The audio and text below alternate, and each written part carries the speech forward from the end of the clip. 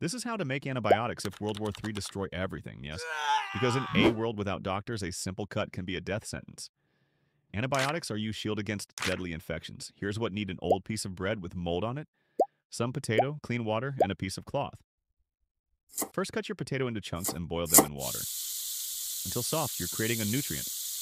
Potato water then feed a piece of old bread that's grown green. Mold, that's penicillin place. Get some warm and slightly damp for a few days so it grow thicker, scrape off carefully, and drop it into your potato water. Stir it up and cover it with a cloth to keep bugs out, but let air in. Let it sit in a cool, dark place for about a week. The mold will multiply. This helps release the antibiotic compound into the water. Here comes tricky part. Carefully filter the liquid through your cloth into another container. Want to separate liquid from mold. What you'll have left is crude. Penicillin broth, which contains the antibiotic compound.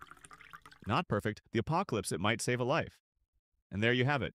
Homeboy, you just made a basic antibiotic.